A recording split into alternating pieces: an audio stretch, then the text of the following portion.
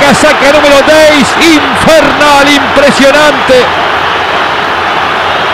El mejor tenedor de balón del mundo, sin ninguna duda, con la pelota pegada al pie. El mejor malabarista y uno de los mejores del mundo en su momento. Ronaldinho, Mineiro 4, Arsenal 1.